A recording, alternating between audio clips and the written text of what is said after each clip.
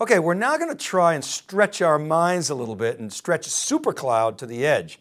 SuperCloud, as we've been discussing today and reporting through various breaking analyses is a term we use to describe a continuous experience across clouds or even on-prem that adds new value on top of hyperscale infrastructure.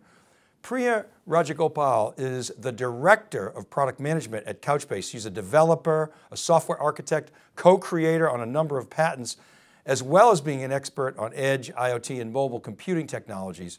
And we're going to talk about edge requirements. Priya, you've been around software engineering and mobile and edge technologies your entire career, and now you're responsible for bringing enterprise class database technology to, to, the, to the edge and IoT environments, synchronizing. So when you think about the edge, the near edge, the far edge, what are the fundamental assumptions that you have to make with regards to things like connectivity, bandwidth, security, and any other technical considerations mm -hmm. when you think about software architecture for these environments?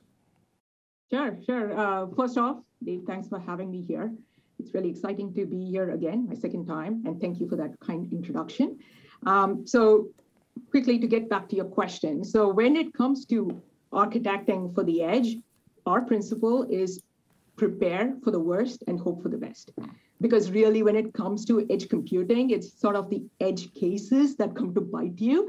Uh, so you, you mentioned connectivity, bandwidth, security. I have a few more. So starting with connectivity, assume poor or no network connectivity, right? Think offshore oil rigs, cruise ships, or even uh, retail settings, right? When you want to have business continuity. Most of the time you've got an internet connection, but then when there is disruption, then you lose business continuity. Then when it comes to bandwidth, uh, we the the notion uh, the approach we take is that bandwidth is always limited or it's at a premium right? Data plans can go up through the roof depending on the volume of data. So think medical clinics in rural areas. When it comes to security edge poses unique challenges uh, because you're sort of moving away from this walled garden central cloud based environment and now everything really is accessible over the internet. So and the internet really is inherently untrustworthy. So every bit of data that is writ, uh, written or read by an application needs to be authenticated, needs to be authorized. The entire path needs to be secured end to end, right? It needs to be uh, encrypted, and so that's confidentiality. And also the persistence of data itself, it needs to be encrypted on disk.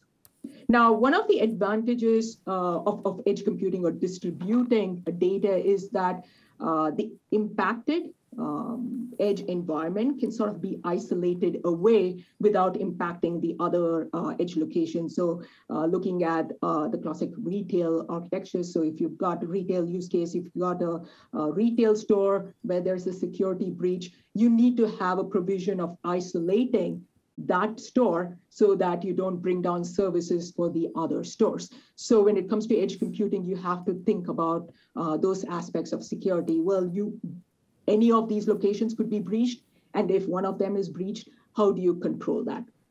So that, that's to answer those three uh, uh, key topics that you brought up. But there are other considerations um, so one is data governance, right? That's a huge challenge when, because we are a database company at Couchbase. We think of database, data governance, compliance, privacy, all that is very paramount to our customers.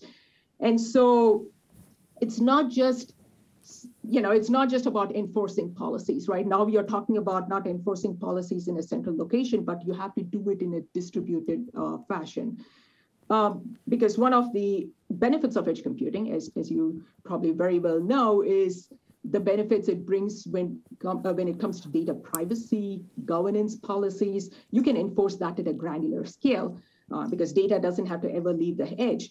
But again, uh, I talked about this in the context of security, there needs to be a way to control this data at the edge. You have to govern the data when it is at the edge uh, remotely. Uh, some of the other challenges uh, when thinking about the edge is, of course, uh, volume, scale, think IoT, mobile devices, right? Uh, classic far edge type uh, scenarios. And I think the other criteria that we have to keep in mind when we are architecting a platform for this kind of computing paradigm is the heterogeneity of the edge itself. So it's no longer, you know, uniform set of compute and um, storage resources that are available at, at your disposal. You've got a variety of IoT uh, devices, you've got mobile devices, different processing capabilities, different storage capabilities. Yeah, when it comes to edge data centers, it's not uniform in terms of what services are available, right? Do they have a load balancer? Do they have a firewall? Can I deploy a firewall, right? So these are all some key architectural con considerations when it comes to actually architecting a solution uh, for the edge. Great, thank you for that, that awesome setup. Now, so we, we've been talking about stretching to, to the edge, this idea of super cloud to connote that single logical layer that spans across multiple clouds, again, it can include on, on-prem, but a critical criterion is that the developer and of course the user experience is identical or substantially similar. Right? Let's say identical. Let's say identical, irrespective of physical location. Priya, is that vision technically achievable today in the world of database? And if so, can you describe the architectural elements that make it possible to perform well and have you know, low latency and the security and other criteria that you just mentioned? Is it just, what's the technical enabler? Is it just good software? Is it architecture? Help us understand that. Sure, you, you brought up two, two aspects. You, you mentioned user experience, right? Uh, and, and then you mentioned uh, from a developer uh, standpoint, right? Uh, what, what does it take? And I'd like to address the two um, separately. I mean, they are very uh, tightly related, but I'd like to address them separately. So just focusing on the easy of the two when it comes to user experience, right? Uh, what, what are the factors that impact user experience? You're talking about reliability of service. So always on, always available sort of application. So it doesn't matter where the data is coming from, right? Whether the data is coming from my device it's sourced from an on-prem data center, or if it is from uh, the edge of the cloud, it's from a cloud, central cloud data center. From an end user perspective, all they care about is that their application is available. The next is, of course, responsiveness. You want users are getting in, increasingly impatient. Right? You want uh, to reduce wait times to service. You want something which is extremely fast. They're looking for immersive uh, uh, applications or immersive experiences. So AR, VR, mixed reality kind of use cases. And then something which is very critical and what you just touched upon is this sort of seamless experience, right? Like this omni-channel as we talk about in the context of retail, right, kind of experience, or what I like to uh, refer to as park and pickup sort of reference. So you um, park, uh, you start your application, running your application, you start a transaction on one device, you park it, pick it up on another device, or and or in case of retail, you walk into a store, you pick it up from there, right? So this sort of a park and pick up seamless mobility of data is, is extremely critical. So in the context of, of a database, uh, when we talk about responsiveness, two key, the KPIs are latency bandwidth, right? And latency is really the round trip time from the time it takes to make a request for data and the response comes back. And uh, the factors that impact latency are, of course, the type of the network uh, itself, but also the uh, proximity of uh, the data source to the point of consumption.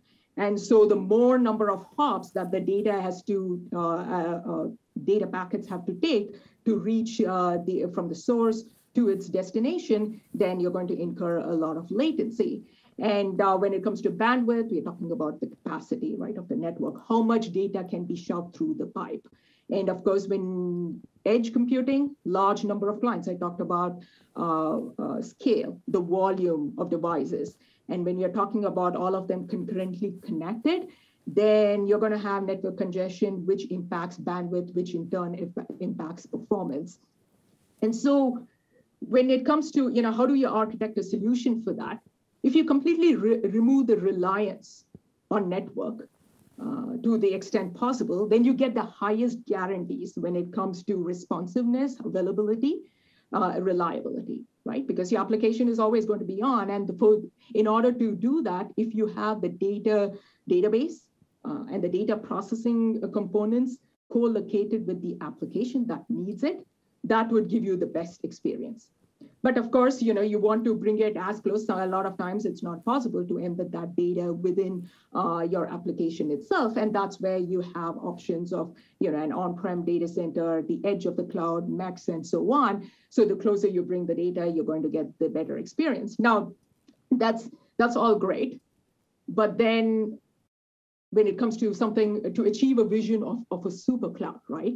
Uh, when, when we talked about, hey, one way from a developer standpoint I have one API to set up this connection to a server, but then behind the scenes, my data could be resident anywhere. How do you achieve something like that? And so a critical aspect of this solution is data synchronization. So I, I talked uh, about data storage and as, as a database, you know, data storage, uh, database, that's a critical aspect of a data database is really the where the data is persisted, data processing, the APIs to access and query the data. But another really critical aspect of distributing a database is the data synchronization technology. And so once all the islands of data, whether it is on the device, whether it's an on-prem data center, whether it's the edge of the cloud, or whether it is really the regional data center, once all those databases are kept in sync, then it's a question of, well, when uh, connectivity to one of those data centers goes down, then there needs to be a seamless switch to another data center. And today, uh, at least when it comes to Couchbase, a lot of our customers do employ global load balancers, which can automatically detect, right? Uh, so from a perspective of an application, it's just one URL endpoint. But then when one of those uh, services goes down or data centers goes down, we have active failover and standby. And so uh, the load balancer automatically uh, redirects all the traffic to the backup data center. And of course, for that to happen, those two data centers need to be in sync, and that's critical. So um, did that answer your question? Yeah, I mean, yeah. I, let me let me jump in here because uh, thank you again for that. lot, I want to un unpack some of those, and I want to use the example of Couchbase Lite, uh, which, as the name implies, is like a mobile version of, of Couchbase, and and and I'm interested in so a number of things that you said. You talked about. Uh, in some cases, you want to get data from the most proximate location. So do you have, is there a, some kind of metadata intelligence that you have access to? I'm interested in how you, how you do the synchron synchronization. How do you deal with conflict resolution and recovery if something goes wrong? I mean, this is a, you're talking about distributed database you know, challenges. Uh, how do you uh, approach all that? Wow, great, great question, and and probably one that I could occupy the entire session for, okay. but I'll try and I'll, I'll, try and keep it brief and, and try and answer most most of the points that you you uh, touched upon. So we talked about distributed database and data sync, right? But here's the other challenge. A lot of these uh, disconnected locations uh, or these distributed locations can actually be dis disconnected. So we've just exacerbated this whole notion of data sync. And that's what we call offline first, not just we call what is typically referred to as offline first sync, right? But the ability for an application to run in a completely disconnected mode. But then when there is network connectivity, the data is synced back to the backend data servers.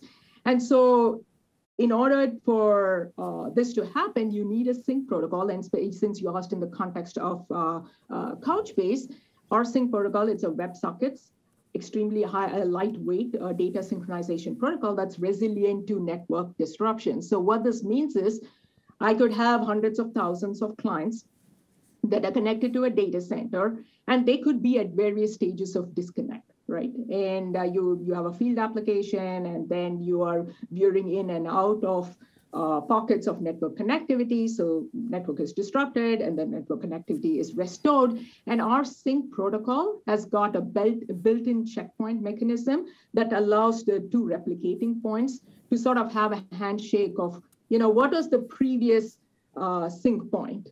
And only data from that previous sync point is sent to that specific client. And so we, and, and in order to achieve that, you mentioned Couchbase Lite, which is of course our embedded database uh, for mobile, desktop, and any embedded platform. But the one that handles the data synchronization is our Sync Gateway. So we've got a component, Sync Gateway, that sits with our Couchbase server, and that's responsible for securely syncing the data and implementing this protocol with uh, Couchbase Lite. And then the, you talked about uh, conflict resolution, and, and it's great that you mentioned that because when it comes to data sync, a lot of times folks think, oh, well, you know, how hard can that be, right? I mean, you, request for some data and you pull down a data. And that's great. Uh, and that's the happy path, right? When all of the clients are connected, uh, when there is reliable network connectivity, that's great. But we are, of course, talking about uh, unreliable network connectivity um, and, and resiliency to network disruptions. And also the fact that you have lots of concurrently connected clients, all of them potentially updating the same piece of data, right? That's when you have a conflict. When two or more clients are updating the same clients or writers. I mean, you could have the, the writes coming in from the clients, you could have the writes coming in from the backend systems. Either way, multiple writers to the same piece of data, that's when you have conflicts. Now, when it comes to, so a, a little bit to, to explain how conflict resolution is handled within our data sync protocol in, in Couchbase, it would help to understand a little bit about how our, uh, you know, what kind of database we are, how is data itself uh, stored within our database. So Couchbase Lite is a NoSQL JSON document store, which means everything is stored as JSON documents. Mm-hmm. And so every time there is a write, right, an update to a document, let's say you start with an initial version of the document, the document is created. Every time there is a mutation to a document, you have a new revision to that document. Okay, so as you uh, build in more writes or more mutations to that document, you build out a, what's called a revision tree. And so when does a conflict happen? Conflict happens when there is a branch in the tree, right? So you've got two writers writing to the same revision then you get a branch. And that's what is a conflict. Mm-hmm. And so we have a way of detecting those conflicts automatically. And when that's conflict detection, right? So now we know there's a conflict, but we have to resolve it. And within Couchbase, you have two options. You don't have to do anything about it.